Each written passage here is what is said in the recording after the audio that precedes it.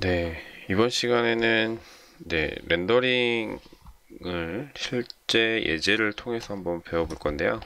음, 이번은 뭐 이제 그 기초다 보니까 네, 간단하게만 네, 한번 해보도록 하겠습니다. 재질도 많이 안 쓰고요. 네. 자, 조명은 이제 렉탱글 조명만 쓸 거고요. 자, 그렇게 해서 네, 완성하려고 하는 네, 목표는 이렇게 해보는 거고요. 우선 이제 콘크리트 재질에다가 반사 조금 넣을 거고 조명, 렉탱글 조명으로 어, 내부 조명의 분위기를 좀 낼 거고요.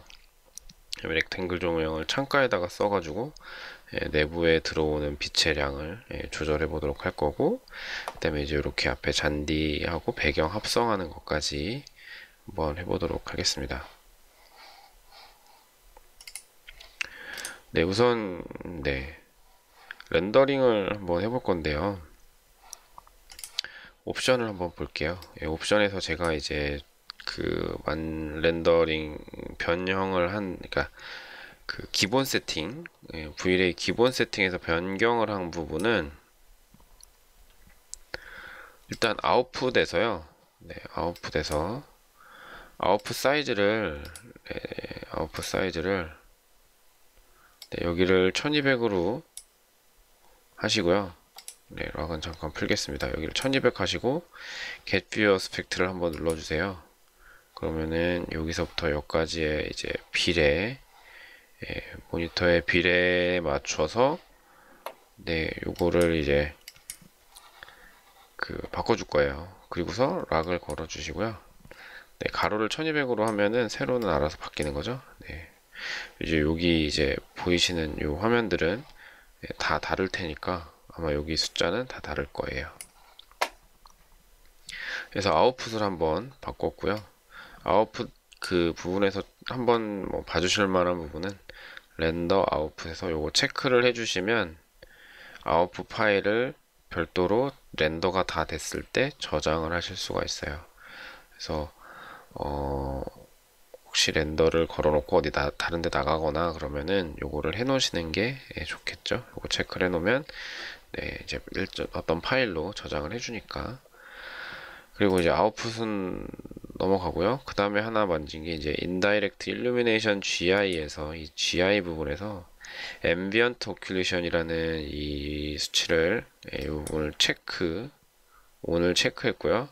수치를 1.2 이게 subdivs 값은 24, 뭐 radius 값은 30 이렇게 했는데 이 수치에 대한 이제 내용은 amount는 이 ambient occlusion이라는 건 뭐냐면 이런 모서리들 있죠. 그러니까 결국은 이제 어떤 면과 어떤 면이 이렇게 만나는 이 모서리 점들 이런 모서리들 있죠.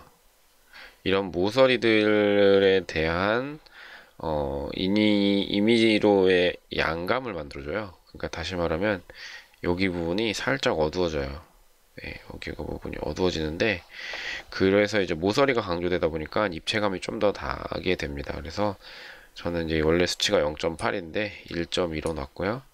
네, 이제 이거는 이제 그 장면마다 다 틀리기 때문에 또 이게 어떤 재질인가에 따라 틀리기 때문에 이 값은 그렇게 조절해 주시면 될 것 같고 이 radius 값은 뭐냐면 이 모서리를 강하게 만드는 거를 좀 더 radius를 높이면 높일수록 그라데이션처럼 이렇게 쭉 퍼지게 만들어요. 그러니까 이 수치가 낮으면 여기 모서리가 되게 선처럼 이렇게 까매지거든요 그래서 수치를 적정하게 조절을 하셔야 되는데 이건 렌더링의 아웃풋 사이즈하고도 조금 관련이 있는 것 같아서 예, 렌더를 하시면서 예, 늘렸다 줄였다 해보시기 바랍니다.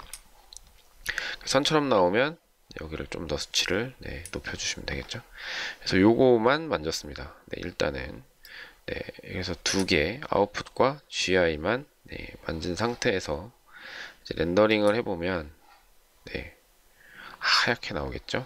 네, 어, 뭐 재질이 하나도 안 들어가 있기 때문에 네, 네, 하얗게 이렇게 나올 수밖에 없습니다. 네, 어, 자 모델링을 전체적으로 한번 확인해 볼게요. 네, 모델링은 이런 건물이고요. 지금 유리 부분이 지금 재질이 안 들어가서 예, 유리 부분이 재질이 안 들어가서 투명하지가 않습니다. 이쪽은 뚫어놨고요. 네, 이쪽은 뚫어놨고 네, 뭐 이렇게 돼 있습니다. 그래서 제가 이제 할 거는 먼저 유리 재질 만들어서 여기다가 넣어줄 거고 이 윗부분 콘크리트 네, 여기 콘크리트 전체 건물 콘크리트하고 바닥 재질은 조금 다르게 갈 거예요. 느낌은 네, 좀 비슷하긴 한데 여기 벽면에 쓰인 거랑 바닥은 조금 느낌이 다르게 갈 거고요. 조명 세팅하는 것까지 하고 이제 여기 있는 잔디 앞부분은 이 네, 여기 있는 이 평행한 요 투시를 맞추기 위해서 어, component를 가져다가 썼습니다. 그래서 그 합성하는 것까지 해서 진행을 한번 해보겠습니다.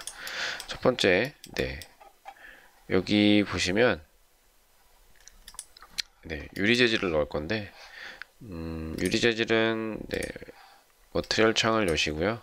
플러스 버튼을 하나 눌러서 살짝 파란색을 좀 줄게요. 그 다음에 네, O 하고 네, 파란색 살짝 파란색을 하신 다음에 투명도만 5로 해주시고 OK 눌러주세요. 나왔죠? 얘를 네, 이렇게 해서 주고 네, 이렇게 해서 해주면 여기에 이제 유리가 예, 들어가는 게 되겠죠. 자 그런 다음에 이제 예, 전체 덩어리에 예, 재질, 콘크리트 재질을 넣을 건데요.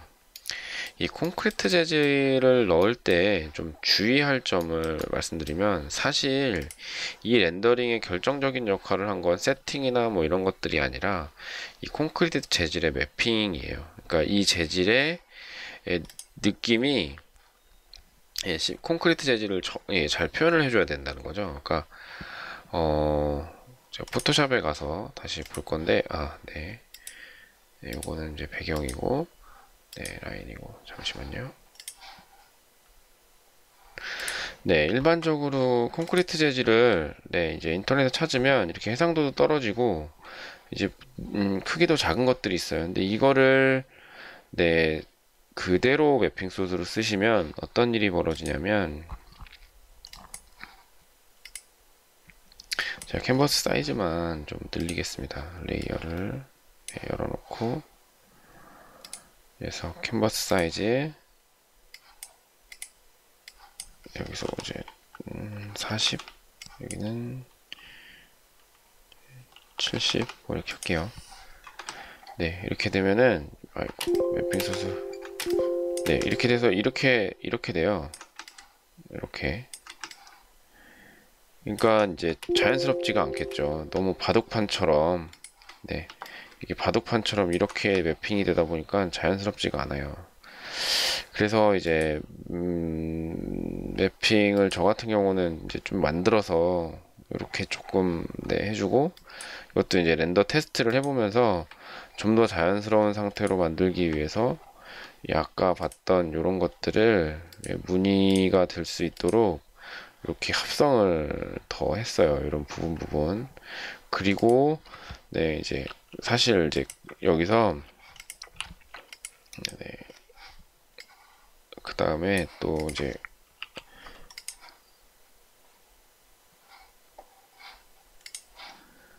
네 이렇게 커브 네 커브 같은 걸 열어서 콘트라스트를 좀 더 주는 예, 이렇게 것들을 테스트를 합니다. 그러니까 render를 해보면, 그러니까 지금 이제 이렇게 이건 좀 밋밋하죠. 이건 조금 강하죠. 그래서 이 패턴들을 내가 원하는 만큼 어느 정도는 해줘야 돼요. 그러니까 렌더링을 해보면서 아 여기에 텍스처를 좀 더 드러내고 싶다. 그러면은 이제 이제 아까 보셨던 여기서 네 이렇게 이렇게 밋밋한 것보다는 콘트라스트를 좀 더 있는 느낌으로 이제 만든다거나 이렇게 해서 다 테스트를 좀 해봐야 돼요. 그래서 콘크리트 재질은 사실 이것도 그렇게 큰 건 아닌데, 네, 될 수 있으면 자연스럽게 하려면 이제 크게 만드셔서, 네, 이좀 바둑판 모양의 느낌이 최대한 덜 나도록 해주시면, 네, 여기서 보는 것처럼, 이제 여기도 이제 사실 바둑판 느낌이 좀 나긴 하는데, 이제 저는 이걸 이제 전체를 10m, 10m 한 장을, 그러니까 이제 좀 전에 봤던 이 콘크리트를 여기서부터 여기까지가 10m라고 해서 렌더링을 걸었거든요. 예, 이따가 설정하는 건 좀 다시 한번 볼 텐데, 근데 지금 보시면 이제 이렇게 그래서 이제 여기서부터 여기까지가 10m가 넘는 거죠. 그 위에는 밑에 반복됐던 게 다시 올라가는데, 이제 뭐 모양 그 전체적인 느낌도 그렇게 어색하지는 않아요. 그러니까 음, 그러니까 이제 여기도 뭐 콘크리트 이제 시공할 때나 뭐 이럴 때 조금 이렇게 이제 나눠지는 거푸집 같은 게 이제 붙어 있으면 나눠질 수도 있잖아요. 그래서 이제 그런 것들 어 그러니까 최대한 좀 덜 자연스럽게 덜 자연스럽게 자연스럽게 하려면 최대한 자연스럽게 하려면 이 콘크리트 재질을 좀, 최, 좀 사이즈를 크게 만들어야 된다는 거죠. 그래서 바둑판 느낌이 좀 덜 나게. 그래서 이제 어, 그래서 재질을 네, 한번 입혀볼 건데 네, 이제 또 재질을 새로 하나 만듭니다. 만들기 전에 예, 저는 어떻게 하냐면 칼라에 가요. 재질에서 칼라에 가서 네, 제가 입히고 한 색깔과 비슷한 그러니까 콘크리트 색깔이니까 이런 색깔이겠죠. 뭐 좀 밝다면 요, 요런 걸, 뭐 이렇게 둘 중에 하나를 쓸게 쓰겠습니다. 그래서 전체적으로 얘를 하나 일단 씌울 거고요. 그 다음에, 네, 얘도 같은 거니까, 이렇게.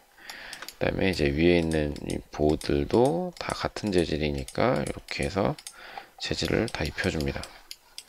그래서 입혀주고, 이쪽 벽, 이쪽, 이쪽, 네, 이렇게 해서 재질을 다 입혔고요. 그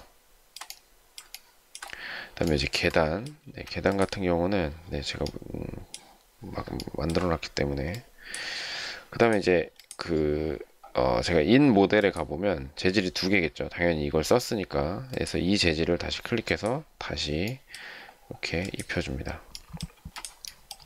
그럼 여기도, 네, 여기도 다 예, 시멘트 재질을 예, 넣었고요.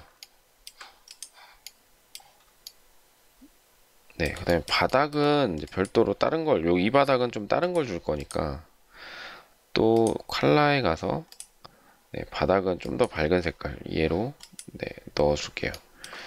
그래서 이제 다시 in model에 가보면 이제 밑에는 라이브러리라고 보시면 되겠고요. in model은 내가 지금 사용하고 있는 material들을 말합니다. 그래서 얘는 벽이니까 wall이라고 할게요. 그리고 얘는 바닥이니까 floor라고 하겠습니다. 자, 여기서도 제가 이제 영어를 잘해서 영문을 쓰는 게 아니고요. 다 영어로 쓰셔야 돼요. 이거를 한글로 쓰면 오류가 날 가능성이 많습니다. 왜냐면 어, 한글은 이제 프로그램이 받아들일 수 있는 언어로 봤을 때는 어, 우리나라에서 전 세계 보급하는 프로그램을 다 만, 우리나라에서 만들었다면 한글을 쓰는 게 기준이 돼도 된다고 해도 상관없겠지만 외국에서 만든 프로그램들을 쓰는 입장에서 어, 이걸 한글로 만들어 놓으면 그 사람들한테 이제 한글로 이제 어떤 뭐 번역이라던가 아니면은 연결했을 때 오류가 나지 않도록 어, 수정을 다 해달라는 얘기와 같은 건데 사실 프로그램을 파는 입장에서 물론 네, 수요가 많은 쪽이라면 그렇게 해주겠지만 뭐 국내에서 수요보다는 뭐 좀 이런 뭐 얘기 대충 이해하시겠죠? 그러니까 우, 대한민국에서 네, 뭐 쓰시는 분들이라면 당연히 한글로 쓰는 게 물론 좋겠지만 프로그램이 외국 프로그램이다 보니까 네, 어, 아무래도 한글로 인해서 발생될 수 있는 네, 음, 버그 같은 것들을 잡아놓지 않았을 가능성이 예, 아주 많습니다. 예, Vray 뿐만 아니라요. 예, 다른 Ruby라던가 뭐 지금 이제 이런 Ruby들도 이제 가끔 이제 한글에 대한 오류를 발생하기 때문에 한글 쓰시지 않는 게 좋습니다. 그래서 자 어쨌든 이렇게 됐고요. 어 마찬가지로 이제 mapping이라던가 이런 것도 한글로 써 놓으시면 안 돼요. 자 이제 벽에 대한 material을 수정을 할 건데 자 벽은 이제 수정한다는 거는 edit에 가셔서 또는 더블 클릭을 하시면 edit에 갈 수 있는데 지금 이건 이제 콘크리트 재질이 아니고 이제 그냥 하얀색 재질이죠. 그래서 콘크리트 재질을 넣어 보도록 하겠습니다. 자, 자, 네 여기서 예, 벽으로 쓰는 재질은 제가 여기 만들어 놓은 재질 중에 2번 네 light concrete 뭐 2번이라고 되어 있는 거를 열기를 해서 얘를 쓸 겁니다. 근데 얘를 집어넣으면 지금 조금 시간이 걸리는 이유는 이제 재질이 워낙 커서 그런데요. 예, 재질이 커서 그런데 너무 크면 사실 얘가 받아들여지지 않을 수도 있으니까 네, 적당히 해주시고 그 다음에 적당이라는 건 뭐 이제 제가 예, 해놓은 사이즈 예, 콘크리트 재질의 사이즈 네, 이미지에서 네, 이미지 사이즈 보시면 네, 해상도 이렇게 되어 있는 거 보이시죠? 네, 대충 이 정도면 충분하니까 네, 쓰시면 되고 그다음에 제가 아까 가로 세로가 10m라고 했죠. 근데 지금 얘가 100이라고요. 그러면은 이 한 칸 한 칸이 100이니까 0을 두개 붙여줍니다. 밑에 건 체인이 걸려 있어서 두 개가 같이 예, 들어가게 되고요. 자, 그래서 이제 네, 재질을 넣었더니 콘크리트 재질이 들어갔고요.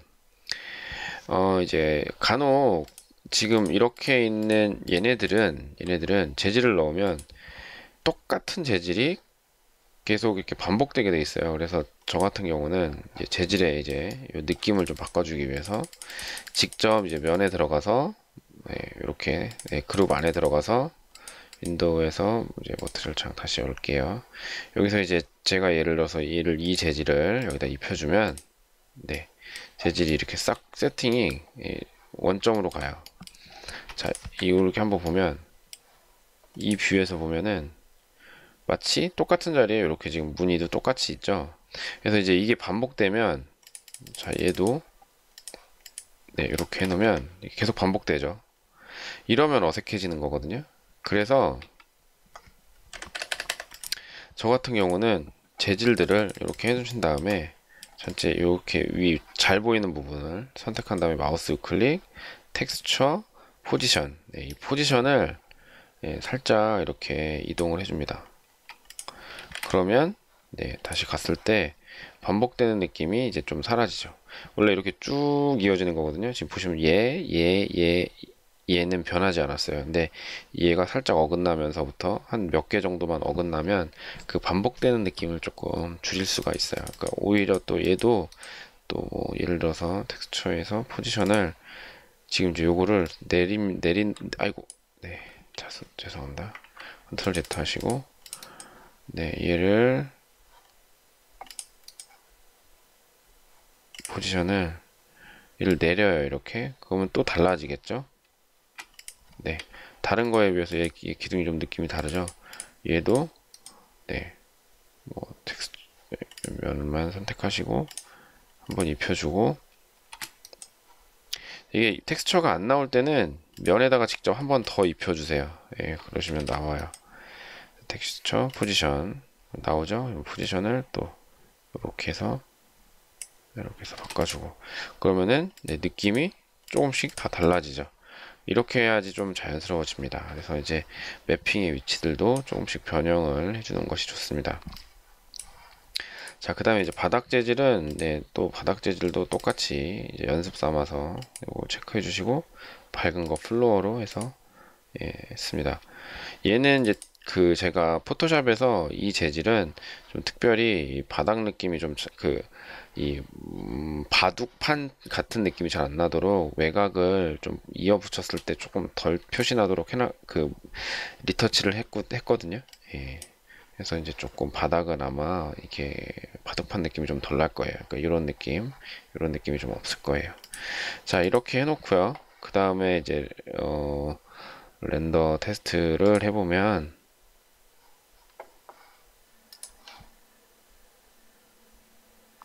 네, 지금 render가 나오고 있는데요. 여기 보시면 이제 약간 까맣게 이제 경계들이 좀 분명해진 걸 보실, 그러니까 분명하게 이렇게 보일 텐데, 여기도요. 네, 여기도 그렇죠. 이게 이제 아까 ambient occlusion, 네, 요, 요거에 의해서 생기는 거거든요. 그래서 요걸 약하게 하고 싶으면 네, amount를 약하게.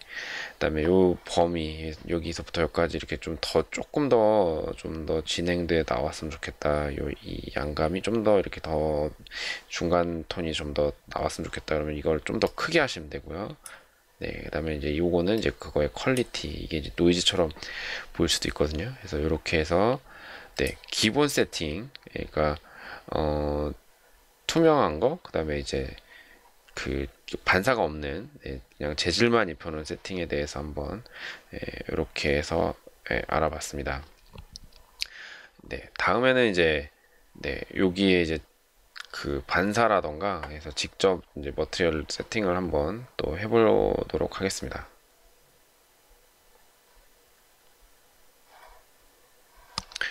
네, 이번에는 이제 재질을 좀 네, 느낌을 좀 더 줄 거고요. 그다음에 이제 반사도 좀 줄 건데 그 전에 이제 어, V-Ray 프레임 버퍼에서 좀 특, 아주 좋은 기능 중에 하나죠. 그래서 요 쇼 컬렉션은 어, 칼라 컬렉션을 열어주시고요. 요거 첫 번째 거, 두 번째 거, 세 번, 그, 건너뛰고 네 번째, 다섯 번째를 버튼을 요걸 눌러주세요.